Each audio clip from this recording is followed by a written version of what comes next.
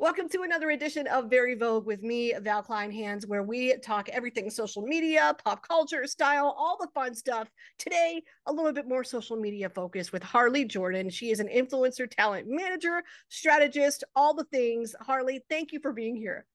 Hello. Thank you so much for having me. I'm so excited to chat.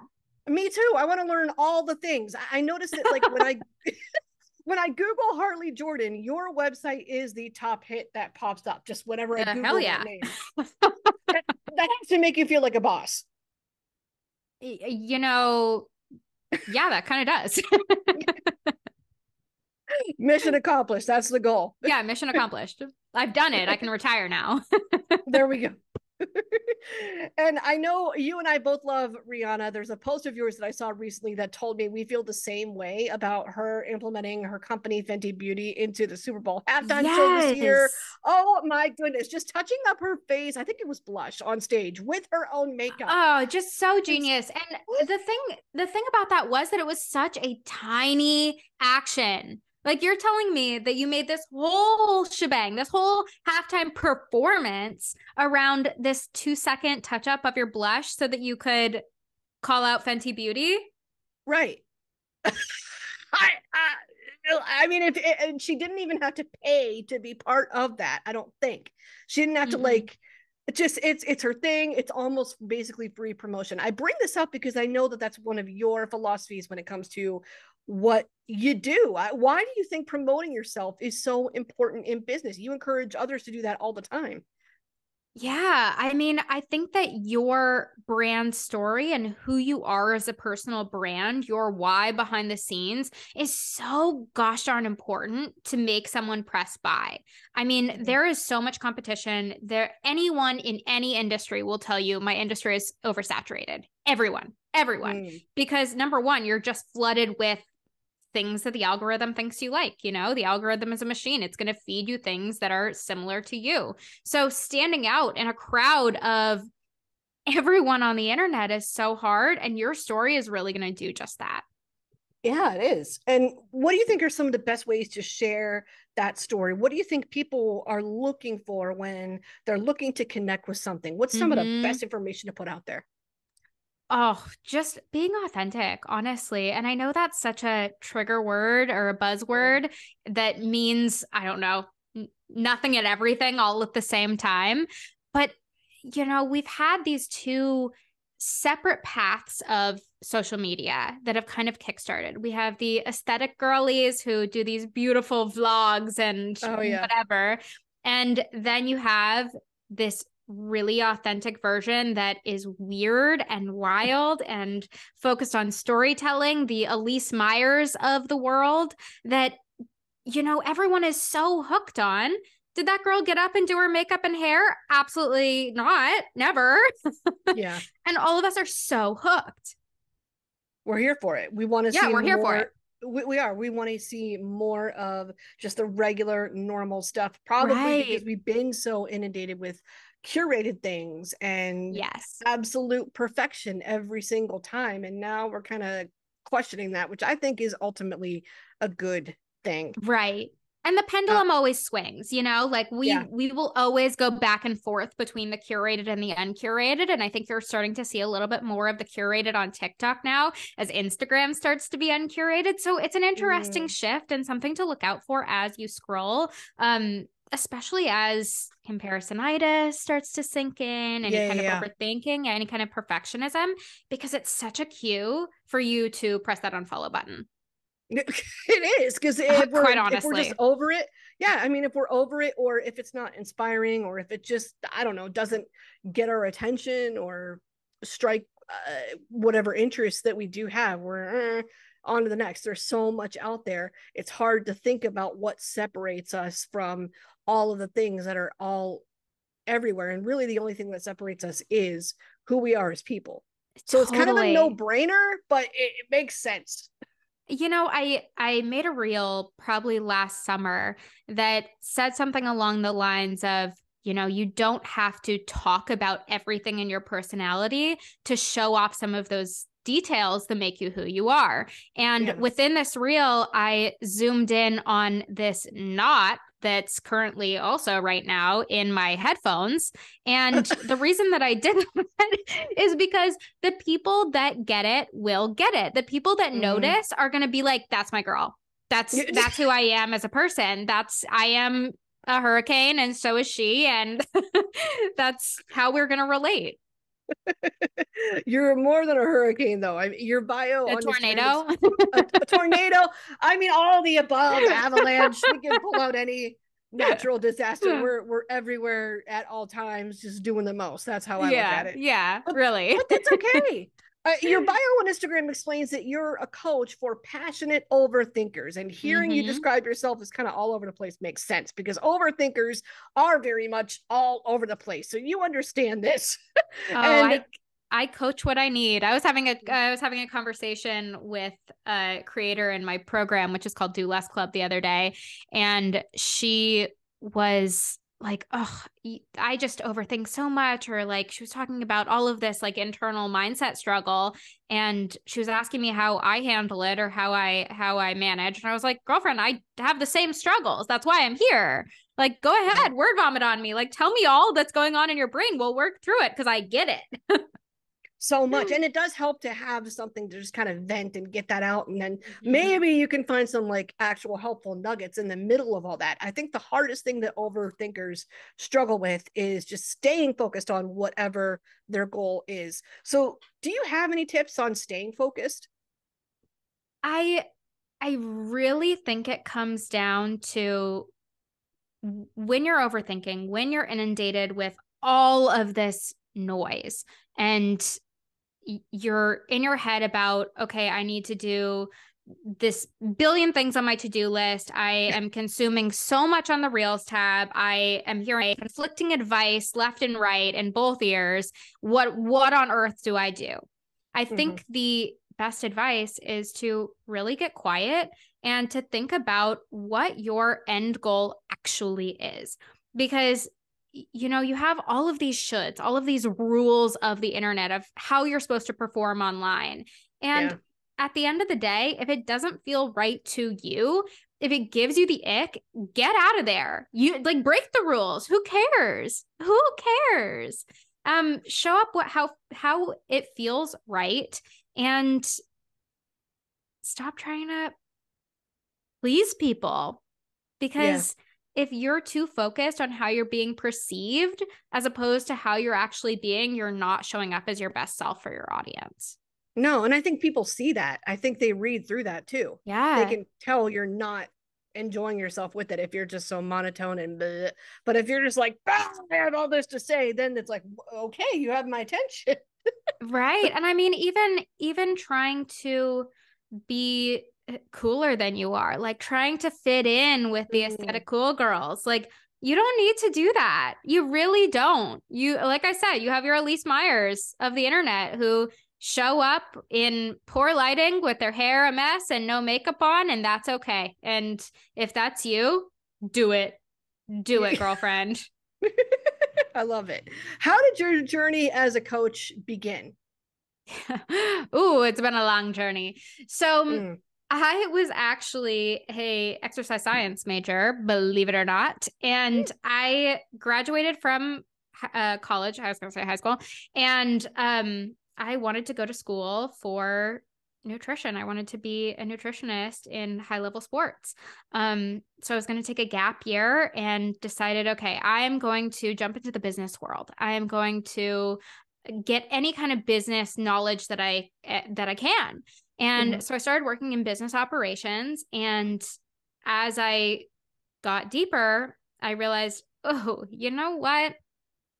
The world of business operations and making a business more efficient is so synonymous with making the body more efficient, which was the textbook knowledge that I actually knew.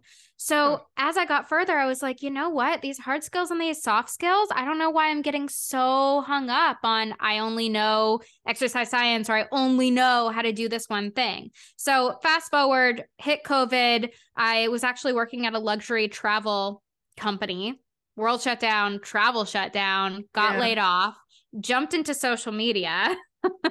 I was a COVID influencer glow up story because I had absolutely nothing else to do um, as I was applying to jobs and other things. But what ended up happening as I had jumped into social media was I, number one, monetized through brand deals pretty quickly. Mm. I think I had fully replaced my nine to five income by the time I hit 12K, which I didn't realize wow. was that shocking until I said it in my story. And everyone was like, Oh, don't speed past that. What did you just say? and so I started kind of teaching on it, diving a little bit deeper, having more conversations. And that's really when it clicked that you know, I had this hard skill, soft skill realization way back when I ha- was in my first year of work post grad. So, why am I getting stuck in that again? Why am I pretending that this isn't a business knowledge and or a business that this isn't business knowledge. There we go. It's a business mindset. Yeah. right. Why am I pretending that I don't have this information stored deep in my brain that I can use? I had done mm-hmm. the coaching. I had done, you know, all of this stuff in the business world. So I ended up jumping into coaching and learning more and teaching people more and keep in mind this has been a huge journey since I started. I think I've pivoted my offerings and my services about a billion and five times. Um, but it's it's just like what I said is, you know, I had to learn and then unlearn all of what felt right and all of what was the rules of the internet. Yeah. Well, and and they're constantly changing. I don't know how you keep up. So I I I, I don't because I don't care about the rules. I break them all. and and that's part of what you preach but i'm curious to know how was it that you were able to make the connection between the things you were learning in exercise science and the things that you were learning in business? What were some of those similarities that you were seeing that allowed you to connect the two? You know it was really just how i how i was lit up by it. Like i i felt this ah. passion um that i felt when i was learning the same things in school. I connected the two. I was like, oh, well, why do I? I'm passionate about this too. So if I'm passionate about both, like, why does it actually matter if I'm in the exercise science world or I'm in the business world? It doesn't. Why am I putting that standard on myself? Yeah. How hard was it to continue to work through that during COVID and continue to create content or find an audience in the middle of COVID when no one really knows what to do with their social media accounts at that time? Like I had that struggle. I was like, do I even continue posting? If I do post, should I only be posting about the pandemic because that's all anybody's right. talking about? We didn't really know what to do with our accounts then. So how did you find what was natural for you or your place in the middle of all that and grow? Oh, you know what? Instagram was a very different place when when COVID was happening. I I mean, mm-hmm. it was all picture central and I used to go out with a friend of mine who decided to also do this with me. We had a standing Tuesday date where we would go do something fun, something that kept us away from thinking about the stress of I need to get a job and yeah. the world is shut down and we would take a bunch of pictures and that was that. Those were those were my newbie gains online and we kind of figured it out together because we had this sounding board of okay you're doing this i'm doing this what's working what what are brands liking what's going on? And then when i finally got into reels um at the start of let's see 2021 was when i first jumped into reels. Um I committed to actually doing them because I so did not understand how I was going to put myself out there in video. Yeah. I, I mean, you know, I kept seeing these glow up stories. I kept seeing the, oh, I gained 30K overnight. Thank you for this 100K, whatever. And it's, it was so wild. So I was like, why am I not, why am I not utilizing this? Why am I not jumping into this now? Um, so it took a while, but I ended up putting out a transition tutorial. And mm. I I did this because I kept getting asked like how how on earth are you doing this? Like how why how did you make this video?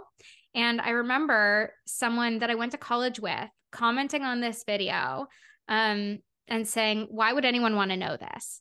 And I ended up replying and saying, haha, I'm like just showing my friends how to excel online, like how to do things online. And a week later, this video hit 1.5 million views, which was wow. a different a different number back then. I feel like views have kind of gone off the chain lately and people are hitting big, much bigger numbers than that. But at that point, I think I brought in like 16K of the right audience with this video and I mm. dove into it. I mean, on online, if you find something that works, you run with it as fast as you can. So I dove into this transition tutorials thing. I was the first one to bring transition tutorials in the native platform to Instagram, or there was probably a handful of people that did it kind of at the same time, but like no one was doing it when I first started doing that. Yeah. And it was I, I mean, it would, it, like I said, it's been a whole journey of like trying to figure out what, what feels right online. Because let me tell you, as a niche, that was exhaustive. trying to get creative and, you know, throwing clothes around my living room, trying to make oh magic oh on reels. Yeah. So you you are one of the early adopters of reels, and that's early, how, early, early yeah. that's how the whole thing started so yeah. and you mentioned something very interesting there's a difference between the right audience and the wrong audience mm-hmm. can you mm-hmm. elaborate more on what you mean by that yeah of course so with reels and with virility we think of it as like a godsend like oh my god i'm trying to chase virility i want this video to go viral my life will change if i have 100k but yeah. you know what i've had so many clients that gain you know 100k in a weekend something uh, astounding something crazy wow. and yeah. you know what that is it's a bunch of middle-aged men in india why and, is it always them it's always them every time. It's like, listen, sir, sir, I am posting for the girlies. I am not posting. I am posting for the girlies. If I could turn off the men button on on Instagram, I absolutely would. So yeah, I mean that would be the wrong audience. You're not trying to market to them. You're trying to build this audience that would be interested in something you're actually putting out, something you're actually offering. If this girl mm-hmm. is doing fashion hauls all the time and she has a ton of men in India, they're they aren't they ain't buying from her like to know it. no, no. no. So what I brought her. in was a ton of people that were interested in my actual coaching and the knowledge that I had and I could monetize from it. Yeah. And that goes to you developing your own influencer agency too. You start right. to give other people these tools. For anybody that doesn't know what all influence management is, can you explain what it is and what it really does? Yeah, of course. So we are a talent agency for creators. We predominantly work with people that are very business minded and have some kind of business as as is not just brand partnerships so we'll have okay. like a therapist that's running their online business as well as wants to monetize with a second stream of income through brand partnerships um, whether that be you know loop earplugs or a headband that helps you with meditation or whatever else, something that makes sense for their audience. Um, so we help to not only build their business up with a little bit of behind the scenes strategy, build their business to be something bigger, but we also help with partnership management, locking in okay. those deals, negotiation, that kind of thing that can be hard because if, especially if you're somebody that's doing this on your own and maybe you're at a point where it's not quite your full-time thing yet but you're still doing a lot of it and you're almost there and you're getting these contracts you're getting these proposals it's a new language to, you don't know what to do with them. I wouldn't know what to do with them. It, it's I, a, yeah it's definitely a new language. There's there's no rule book. Um and what's terrible is this is a very brand new female dominated industry. So there's a lot of, you know, sketchy scammy behavior behind the scenes and yes. a lot of these a lot of these women just don't know the they don't know the business rules of it. A lot of these women mm. are like stay at home moms who are very creative or, you know, jumped into this right after college. Again, creative brain. So yeah. to then be handed this contract with a ton of legalese, they they're not a lawyer. And mm so that's where we that's where we really take it over and make sure that we're building this amazing relationship where they can stick to what they're good at. They can hand off things that stress them out and they can build their business up with a little less, a little less hassle. there hence the do less club. Like I, I saw that club. everywhere. I saw that everywhere and I was like, I want to know more about this just because I like the name. The do who doesn't want to do less? Like do less club. Yeah. So it's funny because my my signature program is called the do less club um and i s- said this for the first time as a joke and it stuck with people it yeah. stuck with people so i ended up making again on another whim sweatshirts that say do less club across the front and what that really what that really means is as a female entrepreneur as females in general, we're really good at the overthinking. We're really good at the all or nothing mindset. We're really good at the perfectionism. So it's not mm-hmm. necessarily about, you know, do less, be lazy. I just want to sit on the couch and be a couch monster. It's that I have so much going on in my brain. My brain is like spaghetti with a billion thoughts happening, and mm-hmm. I need to think less think less, focus on one thing, like I was saying earlier, that one goal that you are going after, and cut out the BS, cut out the extras. You don't need it. You don't need it. so it's a way to hyper focus on one particular aspect of the it's business. A to, or, it's a way to yeah. focus on the things that actually matter. There's yeah. there's so many headaches of social media and just just being perceived. It's it's really hard to have your learning curve be on display as you are yeah. as a creator. That's what it really is is like you're trying new things all the time. You're posting new videos. You don't know how people are going to think about think you don't know what people are going to think of them and you just have to go with it. That's hard. It's hard and it's hard to plan it all out. It's hard to put it on a particular schedule and mm-hmm. not every you know not every video you make is suitable for tiktok or instagram reels or right. youtube. There's there's sort of a there's sort of this unspoken thing that sort of guides you depending on what platform you're using this might be a better fit for this one than the other one. Yes Yes. it's a lot to keep track of. They're all different audiences, but make sure that you're reposting on every single platform and that you have YouTube and Pinterest and TikTok and Instagram and one will flop and one will hit and then engage for 30 minutes before and after on each platform and too much. no, just throw the spaghetti, just see what throw the spaghetti, see what happens. see how it lays out. Maybe we like a little bit of marinara, maybe right. Like a little bit of fettuccine, whatever. Right. Maybe maybe we're a pesto girl. Who knows? Who knows? just go with it however we can. So, what makes doing less good for you? Oh my goodness, so many things. I I ran into this problem about a year into entrepreneurship where I really got into the mindset of all or nothing. I have mm. to, you know, I'm I'm at my desk by 7 a.m. I don't get up from my desk until after six, maybe some uh, days. That's a I'm, full 12 hour day. I know. I'm I'm yeah. exhausted. I don't have brain space. I'm so passionate about what I'm doing, but I'm being a bad boss to myself. I'm being mm. a terrible, terrible boss. I'm being the boss that I would complain about. So why am I creating? I am literally creating this business that I hate. And that really sucked. So, this point of Do Less Club really came after a severe case of burnout, severe mm. and sticky. And it lasted, I don't know, eight months of me doing literally bare minimum, bare minimum yeah. every single day because I just had zero emotional ability, capability, capacity, um, zero physical capacity to do anything.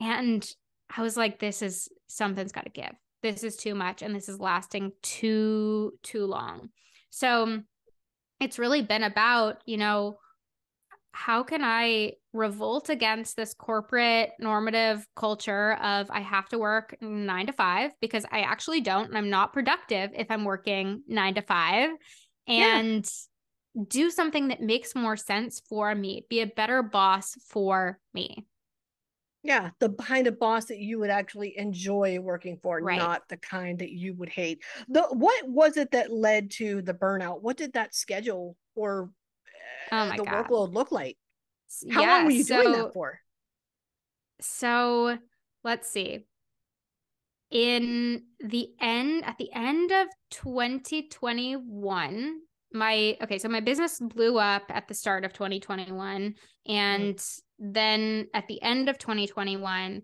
I started the agency.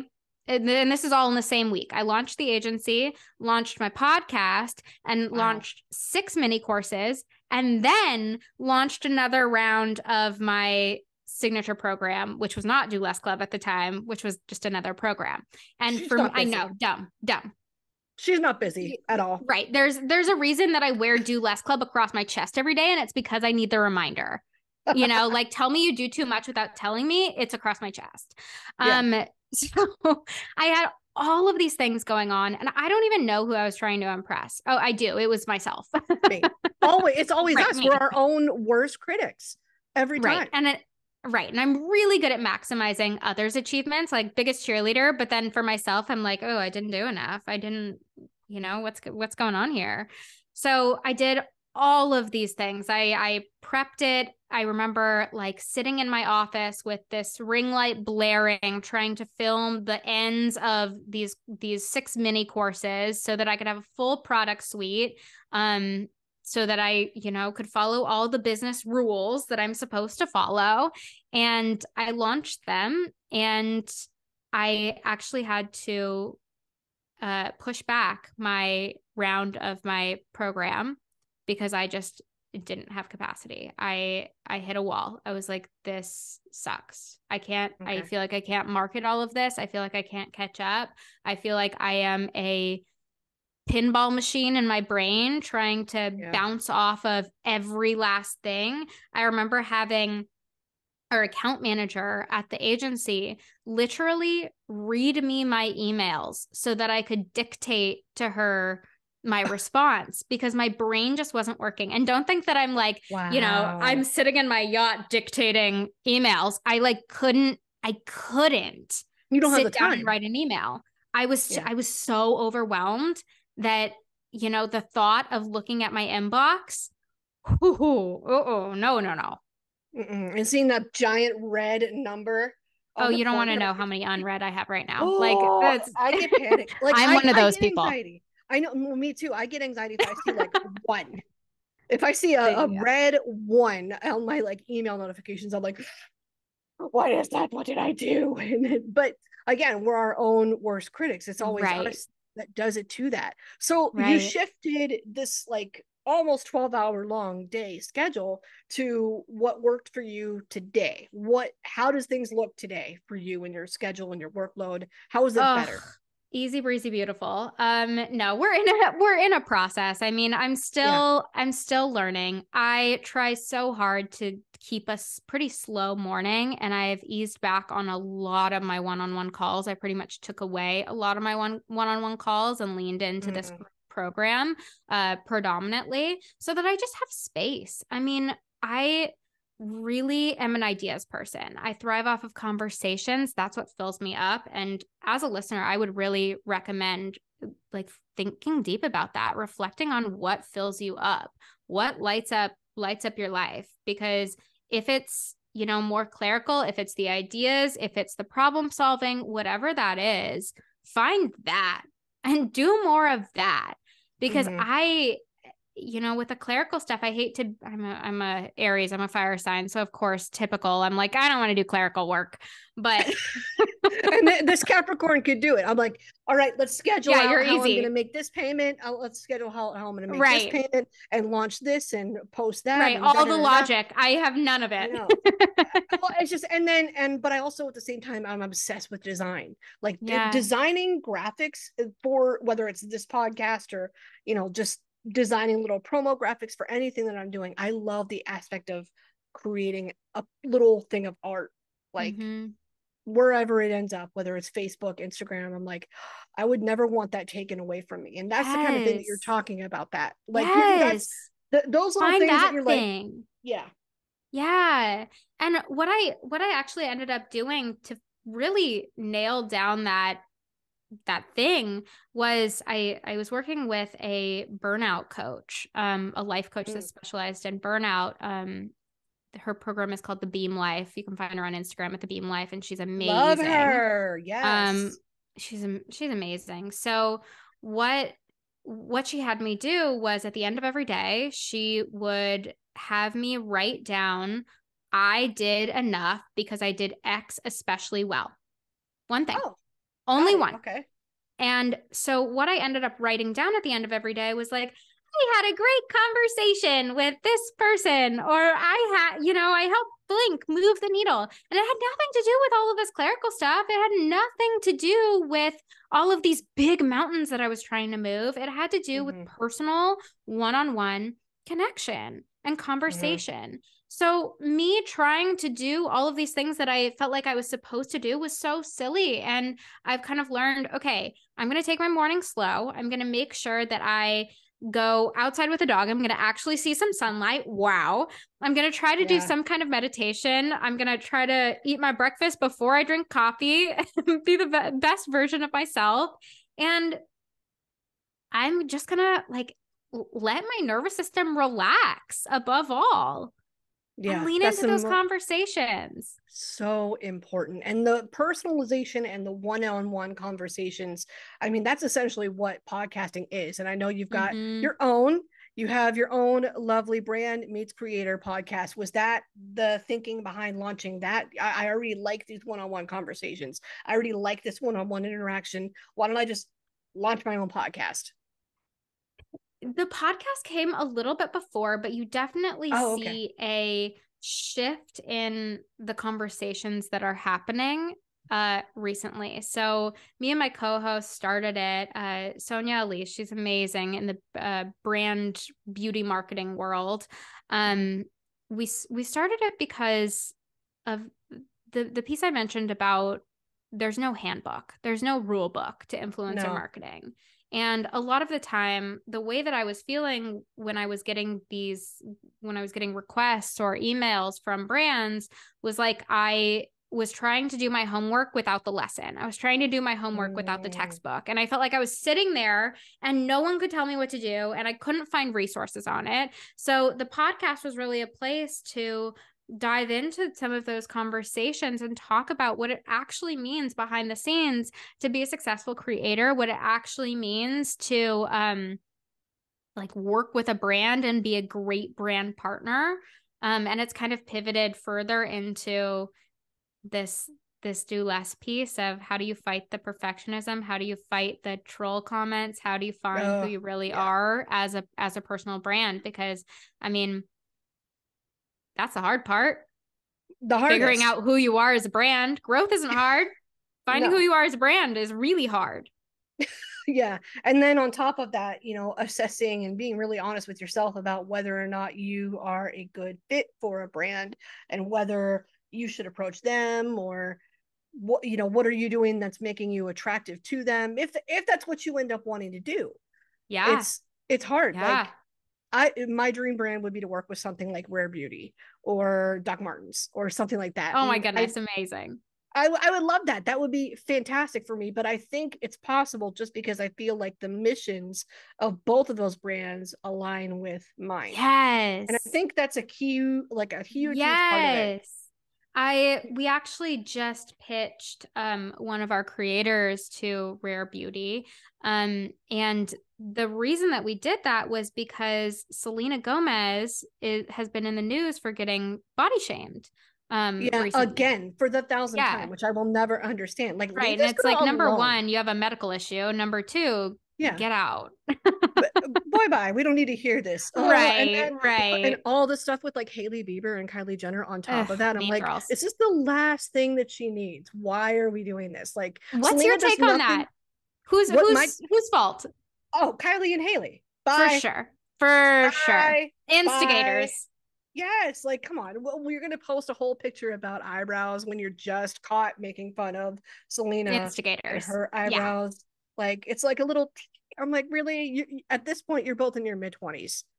It's yep. not like it's not cute anymore. It's not cute. It's, it's not funny. Selena no. has done nothing but like create brands and a space where people feel welcomed and it's positive space. Yes. And Rare Beauty is all about mental health advocacy as yes. well. Which, which is those are the types of things that I feel like I was in line with. But I'm like, it also makes me question how anybody comes for her when she's not really coming for anybody else. I, I yeah, I don't get it. I I don't know why we think that's fun. So that's actually the reason that we pitched we pitched this creator to this brand because mm-hmm. she is she is in the body positivity space. She's gone through a yeah. ton of like eating disorder issues and mindset issues, talks about it all the time and does a lot of the, the storytelling while she's putting on her makeup. So yeah. we came to them and didn't even lead with the, you know, people are asking about her makeup. It's leading with the storytelling and leading with the, you know, we heard about this Selena thing. I've already done a post on it. And mm-hmm. here's here's how you align on that deeper foundational level. Mm-hmm. And I'm sure the result was great. I'm sure she was happy. Yeah, yeah, we'll yeah. we'll see how we'll see how it works out. okay, so still in process. Okay. Still in process. Got okay, got it. And so what's next for you? What can we look forward to for you? Oh, nothing new because I'm trying not to do it. no, I'm kidding. For the reasons I'm kidding. stated earlier. Right, exactly. So yes, you can find me obviously on the Harley Jordan on Instagram.